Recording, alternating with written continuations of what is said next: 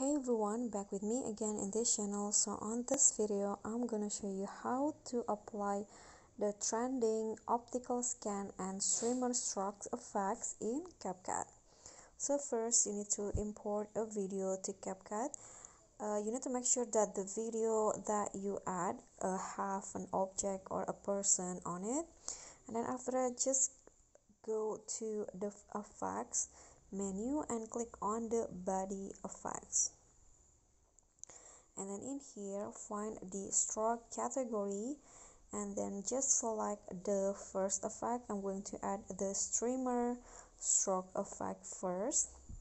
Then here you can adjust the intensity size range speed atmosphere and also color. I'm not going to change the color but maybe I'm going to adjust the speed okay.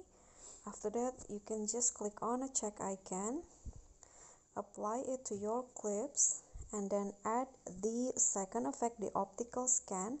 Still on the body effects and stroke category you'll find electro optical scan.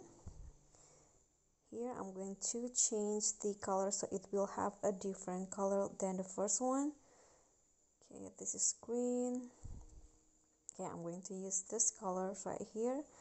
Then just click on the check icon and you are done. So here is the final result. Okay everyone so that's all from me. Thank you so much for watching. Please don't forget to subscribe like this video comment and also click on the thanks button. Thank you